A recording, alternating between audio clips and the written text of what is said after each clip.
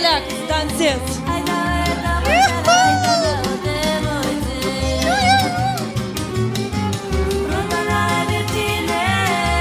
Gata, gata. Poate Viorica așa nu poate. Oameni buni, în primul rând, bună seara, în al doilea rând, mulțumesc din suflet pentru aplauze.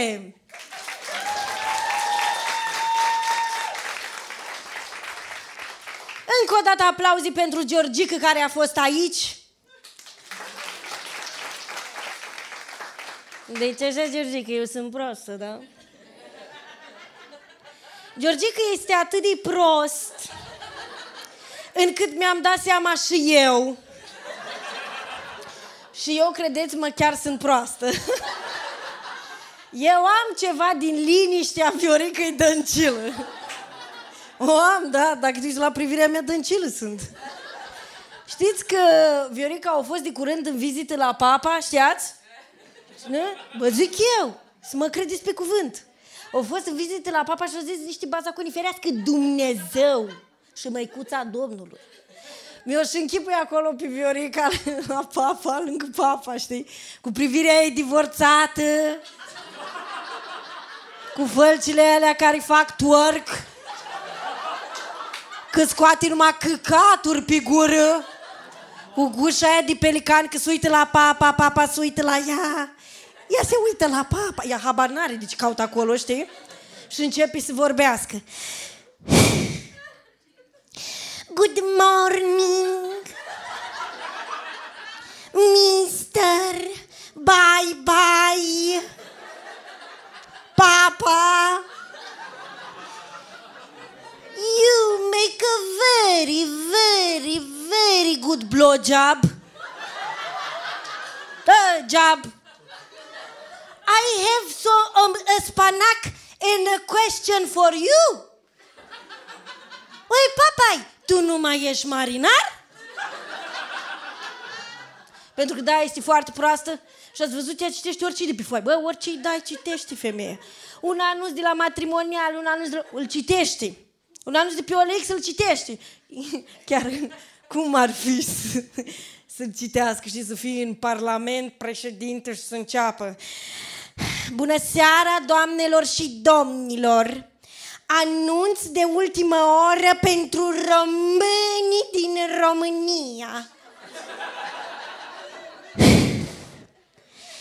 Vând Logan. 07 20 20 20 20 Nu troncă, ne nu bate fără samsar La schimb cu iPhone Pentru că da, este foarte proastă Și lăsând la o parte o proastă Să revenim la altă proastă La mine Cine m-a văzut la televizor să aplaude?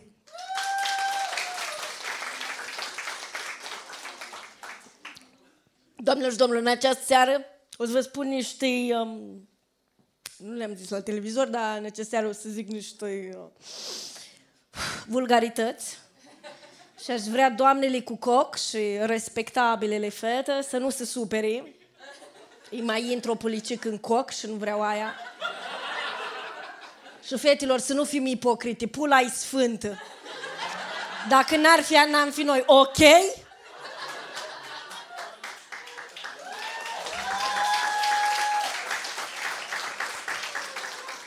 Știți cum mă rog eu noaptea? Dăm, Doamne, o pulă atât de mare și atât de lată.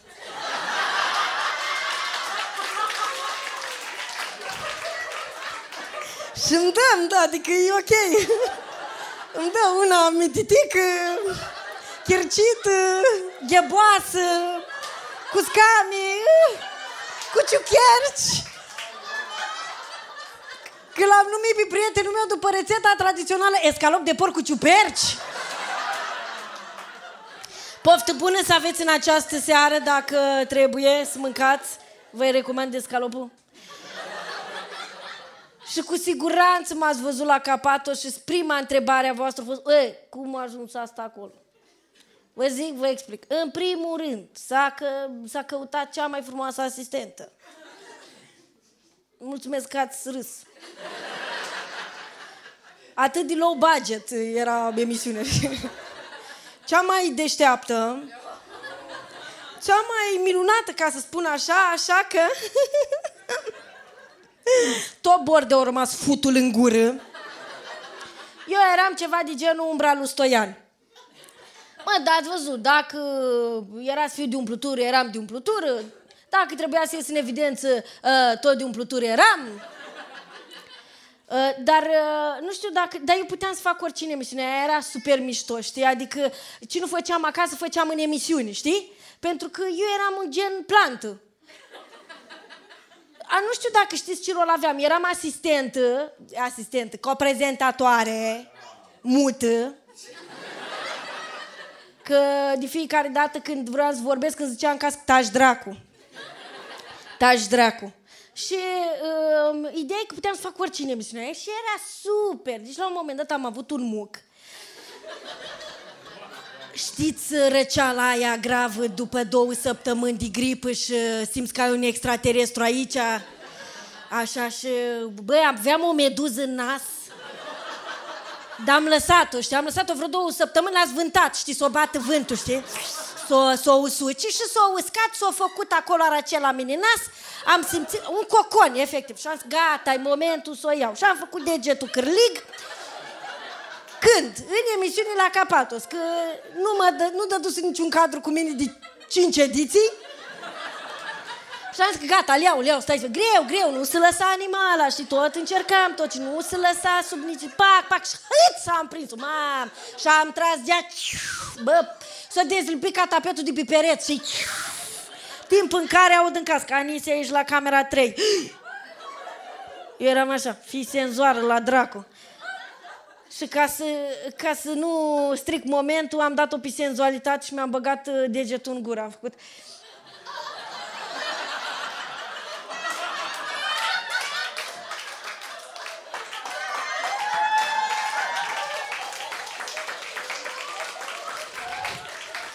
La care Bordea, shit!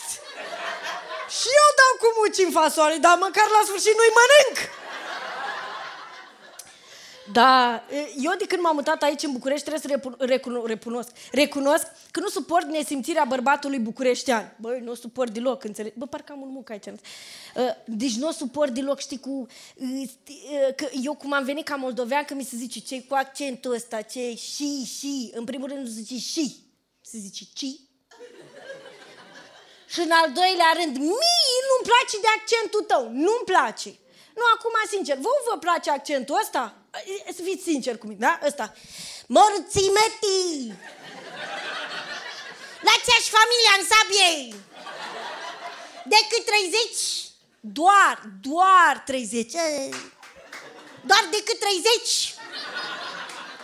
Bă, și eram în lift la un moment dat cu un vecin de-a meu nesimțit și la un moment dat în lift, bă, un miros de beșină, ferească Dumnezeu! Ferească Dumnezeu și măicuța, mi-a lăcrimat ochii efectiv așa. Și ies el cu tupeu și nesimțit zice, pe lângă faptul că ești moldovean, că mai ești și împuțită. Ai! Și am zis, uai, muie! Moldovean că e mata, că eu din două săptămâni stau la București, da? Zis că eu mă beșisem.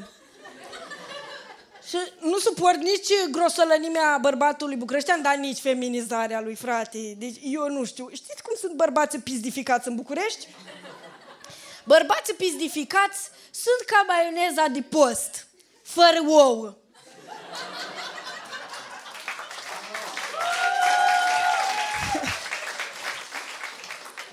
Un alt accent pe care eu nu-l suport este uh, cel din Germania. Băi, nu știu dacă... Ați fost vreodată în Germania?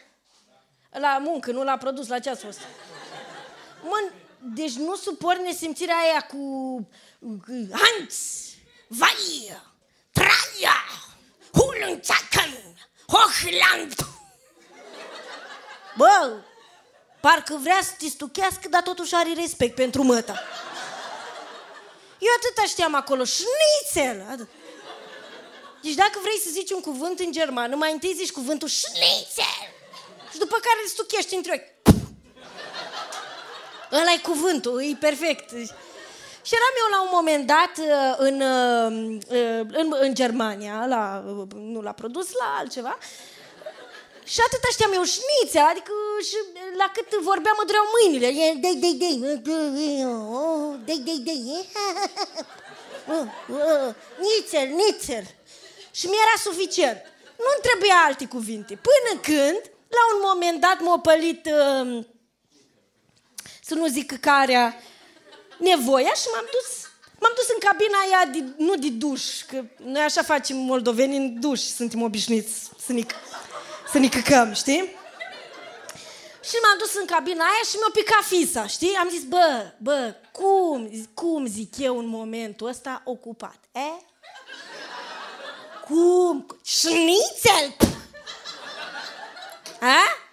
Bă, și ca să nu fiu nevoit să zic șnițel, am venit cu o soluție. Am lăsat ușa larg deschis. Să vadă lumea ce fac, știi, femei transparentă, nu ascund nimic. Au venit acolo niște germani, dai trai, dai trai, bulangi, bulangi, ce nu mai văzut o femeie care să nu știe germană? La un moment dat, unul dintre ei comenta, nu te da, hai, tai, tu, tai, tu, să, adică nu ți rușine. Mi să-mi fi rușine, tu. Știți cum mă simțeam eu? Ca în cel mai confortabil loc. Ca la Capatos. Stăteam jos, nu ziceam nimic, nu aveam idei și făceam